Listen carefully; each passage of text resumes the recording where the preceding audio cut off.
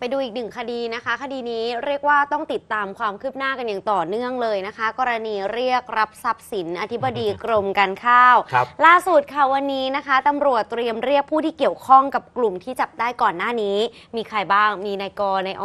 อ่าตัวย่อเต็มไปหมดเลย ในตัวย่อเต็มไปหมดแล้วตอนสี่นี้ห้าคนเนี่ย เรียนครับหมดแล้วก็ไก่ขอไข่มาหมดนะคะ อืม มาหมดนะคะ ก็โดยเป็นคนจากสำเขาบอกว่าเป็นคนจากสำนักนายกรัฐมนตรีนะคะ หลายบุคคลเลยรวมถึงข้าราชการในกระทรวงเกษตร และสหกรณ์อีก 2 คนนะคะ ในวันพฤหัสบดีนี้ค่ะ จะแจ้งข้อหาบุคคลใกล้ชิดกับนายศรีสุวรรณจันยา พร้อมกับยืนยันว่าจะดำเนินคดีกับทุกกลุ่มที่เกี่ยวข้องค่ะครับเรื่องนี้ค่ะเปิดเผยโดยพลตำรวจตรีจรุนเกียรติปานแก้วรองผู้บัญชาการตำรวจสอบสวนกลางนะคะ บอกว่าเบื้องต้นเนี่ยจะเป็นเพียงการพูดคุยนะยังไม่ถึงขั้นสอบปากคำแต่ว่าในวันที่วันพฤหัสบดีที่ 15 กุมภาพันธ์เนี่ยจะเชิญบุคคลที่ใกล้ชิดกับนายศรีสุวรรณจันยาเข้ารับข้อหา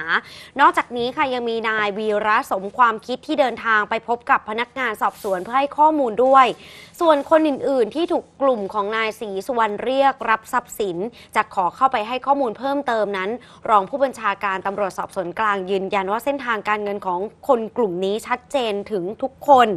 รวมถึงมีหลักฐานอื่น ๆ ด้วยนะคะ อย่างไรก็ตามค่ะสิ่งที่สำคัญก็คือผู้ที่เสียหายคนอื่น ๆ เนี่ยจะให้การหรือไม่ ซึ่งเป็นเรื่องที่ชุดสืบสวนหนักใจ เพราะจากข้อมูลที่มีพบว่ากลุ่มผู้ต้องหาการ กระทำการลักษณะนี้หลายครั้ง จึงอยากให้ข้อมูลจากทุกคนนะคะ เพราะจะเป็นประโยชน์ต่อรูปคดีและสามารถดำเนินคดีเพิ่มเติมได้ด้วยครับบางคนเนี่ยไม่กล้าที่จะให้ข้อมูลไงคะครัพี่บพี่อาร์ตอืมคือก็ไม่กล้าที่จะเดินทางเข้ามาให้ข้อมูลมันก็เลย บางอย่างมันอาจจะยังคือคลุมเครืออยู่ ก็อาจจะมีความผิดอยู่บ้างอ่าแล้วก็โดนเขาเรียกตบทรัพย์ไปก็พอเลยตำรวจจะไปกลัวไงเออขอข้อมูลหน่อยสิก็ไม่กล้ามาให้อ่าทีนี้สำนวนเขาเรียกอะไรน้ำท่วมปากไหมอย่างนี้เออถ้าพูดไม่ได้น้ำท่วนะมปากวัวสันหลังหวะชะนักติดหลังเออโดนไปหมดเลยอะครับอืมค่ะ ท่านรองผู้บัญชาการตำรวจสอบสวนกลางนะคะก็ยืนยันว่าแม้ว่าคดีนี้เนี่ยจะมีการพูดถึงว่าเกี่ยวข้องไปถึงพักการเมืองด้วย แต่ทางตำรวจก็จะทำไปตามพยานหลักฐานค่ะไม่เกี่ยวข้องกับการเมืองใด ๆ ส่วนการสรุปสำนวนคดีก็จะรีบดำเนินการให้แล้วเสร็จในเร็วๆนี้ โดยกลุ่ม โดยเฉพาะกลุ่มของอธิบดีกรมการข้าว เพราะจะได้ใช้เป็นแนวทางในการสอบสวนคดีก่อนขยายไปยังกลุ่มอื่นๆ ทุกกลุ่มค่ะครับไปฟังเสียงคุณจรุนเกียรติพูดถึงประเด็นนี้ค่ะ วงวงเนี้ยนะครับเดี๋ยวเราเดี๋ยวเราจะรีบสรุปเพื่อให้อ่า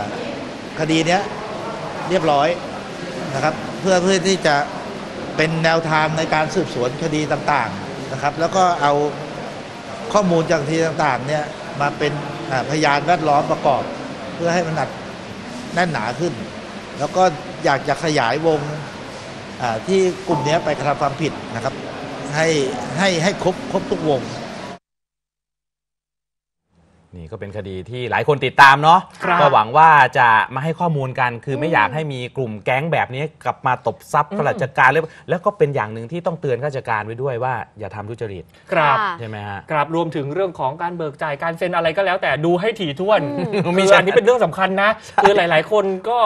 ไม่รู้แหละ อาจจะเป็นการให้ข้อมูลหรืออ้างว่าอืมอะก็เซ็นตามเขาไปตามอืมน้ำตามนี่แปลว่าตอนที่จังหวะที่เซ็นเนี่ยเราอาจจะดูไม่รอบคอบหรือเปล่า อะไรแบบนี้ก็ฝากกันไปด้วยแล้วกัน รับกันว่าคดีนี้มหากราบแน่นอน ยังไม่จบง่ายถ้าไม่รักษากฎระเบียบจรรยาบรรณของราชการนะ ค่ะ คุณจะโดนเขาตบทรัพย์ๆครับคุณจะผิดกฎหมาย เอาง่ายๆอืม คุณจะติดคุกแน่นอน เนี่ยใช่ แล้วพอมีอะไรแบบเนี้ยก็ไม่กล้าที่จะเดินเข้าไปให้ข้อมูลไงเพราะตัวเองก็ก้ำกืนฝืนทนน่ะนึกออกไหม เออใน